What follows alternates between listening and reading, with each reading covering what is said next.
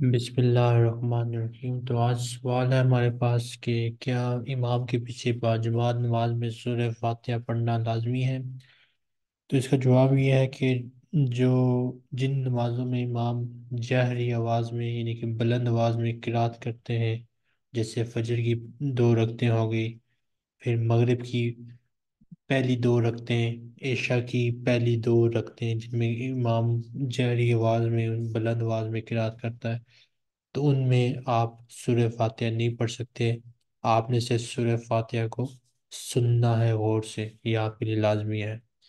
और वो नमाजें जिनमें इमाम जहरी आवाज़ में बुलंद आवाज़ से किरात नहीं करता, जैसे जहर की चार रकात, मगरिब की तीसरी रकात असर की चार रकात और ऐशा की आखिरी दो रकात। इनमें आपने सूरह फातह लाजमी पढ़नी है।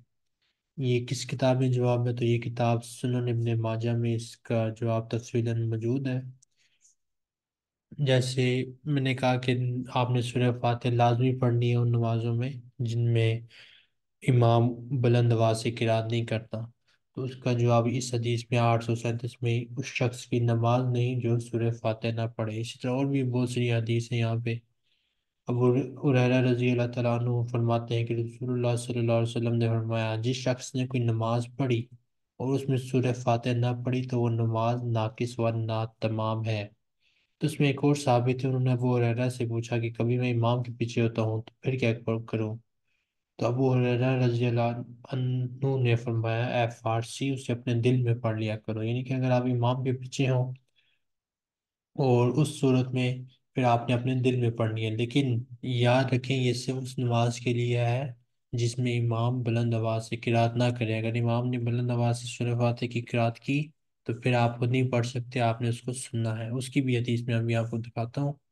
तो अभी ये उन नमाजों के मुतालिक हदीस हैं।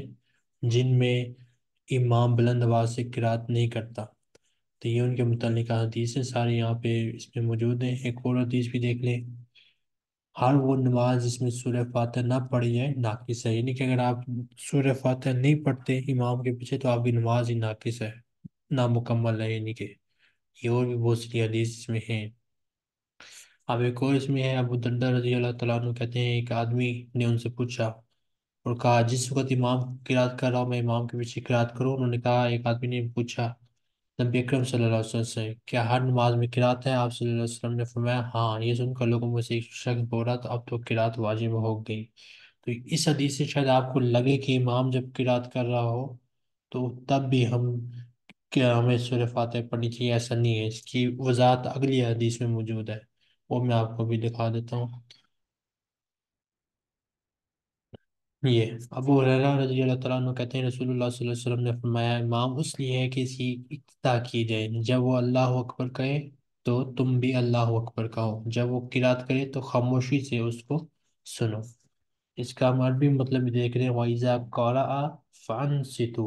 यानी कि जब वो पढ़े, बुलंद आवाज़ से कुरान पढ़े, सूरह फातिहा पढ़े तो आपने उसको चुप करके सुनना है, आपने खुद नहीं पढ़नी सूरह फातिहा।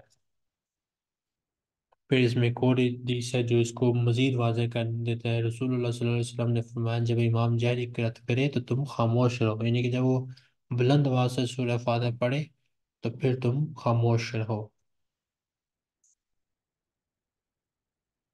अब एक और हदीस है जो इस चीज़ को मजीद वाज़ह कर देती है। नबी अकरम सल्लल्लाहु अलैहि वसल्लम ने अपने सहाबा को कोई नमाज़ पढ़ाई जो गालबन सुबह की नमाज़ थी, यानी कि फजर की नमाज़ थी, नमाज़ से फरागत के बाद आप सल्लल्लाहु अलैहि वसल्लम ने फरमाया क्या तुम में से किसी ने किरात की है? एक आदमी ने कहा, जी हाँ मैंने की है। आप सल्लल्लाहु अलैहि वसल्लम ने फरमाया, मैं सोच रहा था कि क्या बात है, कुरान पढ़ने में कोई मुझसे मुनाजियत, खींचातानी कर रहा है। फिर अगली हदीस में आता है, यानी किसी हदीस का अगला हिस्सा, फिर लोगों ने जारी नमाज़ में खामोशी इख्तियार कर ली। यानी कि जो बुलंद जिसमें इमाम तलावत करता है, उसमें फिर लोग खामोशी से सुनते हैं। तो ये सवाल था और इसका फिर जवाब है कि जब इमाम बुलंद आवाज़ से सूर्य फातह पढ़े, उस टाइम आपने उसको खामोशी से सुनना है। और वो नमाजें जिनमें इमाम खुद दिल में पढ़ता है, उनमें आपने भी लाजमी सूर्य फातह पढ़नी है।